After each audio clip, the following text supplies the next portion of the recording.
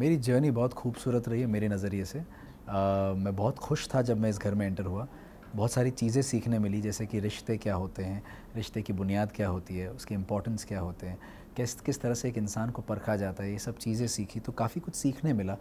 Emotional journey थी बहुत खुशनुमा जर्नी थी एंड फाइनली जब मैं आ, मेरा नाम लिया गया तो एक एक्सेप्टेंस था क्योंकि एक फॉर्मेट है। किसी ना किसी दिन किसी कभी ना कभी किसी को जाना ही तो उस वक्त मेरा नाम लिखा था। तो एक्सेप्टेंस था. इट वॉज़ नॉट कि हाँ मैं चला गया. ऐसा नहीं था कुछ भी. सो so, uh, एक इमोशनल होना ज़रूरी नहीं है कि मैं रो इमोशनल होना खुश भी हो सकता है. तो बहुत ज़्यादा खुश खुशी थी बहुत ज़्यादा ग्रेटफुलनेस था मेरे अंदर. एंड uh, मैं बिग बॉस का तहे दिल से शुक्रिया अदा करना चाहूँगा कि उन्होंने मुझे मौका दिया इस शो में आने का. पहली बात तो एडिटिंग मेरे हाथ में नहीं है कि क्या दिखा क्या नहीं दिखा. दूसरी बात मुझे पता है मैं वहाँ क्या कर रहा था. तो I I genuinely don't know what has been shown what has not been shown and अगर आप कह रहे हैं कमज़ोर लगी तो ये आपका पॉइंट ऑफ़ व्यू हो सकता है जिससे ज़रूरी नहीं है कि मैं वाकिफ़ रखूँ या सलमान सर वाकिफ़ रखें क्योंकि उन्होंने और बिग बॉस ने तो मेरे एफ़र्ट्स और मेरे uh, मेरे गेम को सराहा है और एक्नॉलेजमेंट दी है। सो so, मैं उनका फॉर एवर ग्रेटफुल रहूँगा कि उन्होंने मुझे एक्नॉलेजमेंट दी। एंड सेकेंड ऑफ़ ऑल हाँ बस आई थिंक मेरा जवाब इतना ही है देने की ज़रूरत नहीं है। हाथ उठाया मारा नहीं है उठाया है तो क्लैरिटी उसमें रखते हैं। एंड क्या कहना चाहेंगे उनके बारे में? सरासर गलत हरकत है ये। हालाँकि मैंने वो विटनेस नहीं की है बट जो मुझे बताया गया है और आप जब ये सवाल पूछ रहे हैं तो उसका मतलब आपने भी वो चीज़ देखी है। और अगर ये चीज़ किसी रिश्ते में आ रही है तो किसी भी रिश्ते में होना ये गलत ही है। सो मैं इसका समर्थन नहीं देता। बिकॉज़ मैं अपना दुख ज़ाहिर करना चाहूँगा कि मुझे वो मौका नहीं मिला और शो का फॉर्मेट आड़े आ गया, जहाँ डबल एविक्शन हो गया। अगर वो नहीं होता तो कहीं ना कहीं मैं आगे बढ़ सकता था। जो मे, जो मेरा इस हफ़्ते का प्लान था, जो मैं कई बार ज़ाहिर कर चुका हूँ अलग अलग इंटरव्यूज़ में, मैं वो खुलासा करना चाह रहा था इस इस संडे के नॉमिनेशंस में Sunday Monday sorry Monday Monday के नॉमिनेशंस में I wanted to bring out in the open what the reality of Vicky and Ankita क्या कर कर क्या रहे हैं, अब इनका नया क्या चल रहा है, इनका नई चुगली क्या चल रही है इनकी।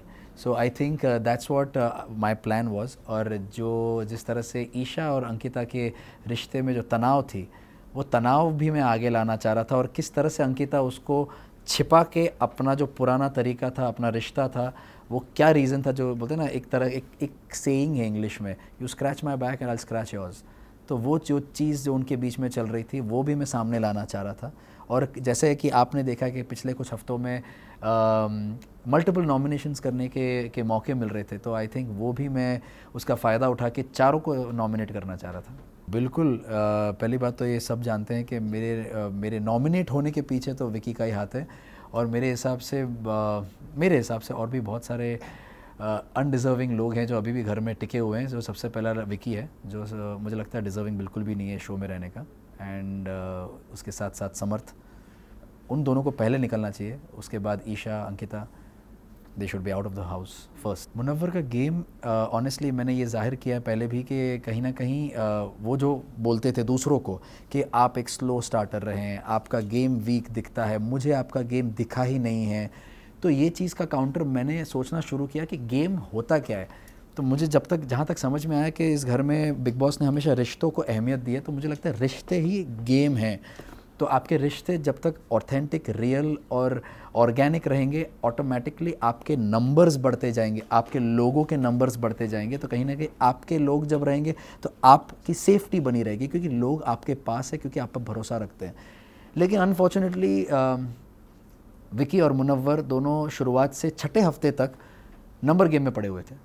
तो कहीं ना कहीं उनको भी समझ बहुत देर आई देर के बाद आई जबकि अब अब बारहवा हफ़्ता शुरू होने वाला है और छठे से बारह मतलब आधे शो के बीच में से उनको समझ में आया कि उनकी गेम एक्चुअली थी रिश्तों के ऊपर। फिर भी मुनव्वर समझ गया इस चीज़ को और वो उस चीज़ से हट गया मगर विकी अभी भी उधर ही लगा हुआ है। एंड uh, तो आई वुड से मुनव्वर की गेम एक स्लो स्टार्टर गेम थी एंड समझ थोड़ी देर से आई about the game of the show क्या है कि अभिषेक बहुत ही इमोशनल इंसान है और उसका हर चीज़ ना एक, वो खुद ही बोलता है कि मैं हर चीज़ में ओवर हूँ। अगर प्यार करता हूँ तो ओवर करता हूँ, गुस्सा करता हूँ तो ओवर करता हूँ। अगर मैं रोता हूँ तो ओवर होता है वो। तो उसने हमेशा ये चीज़ मेंटेन की और हम सबने ये चीज़ देखी भी है।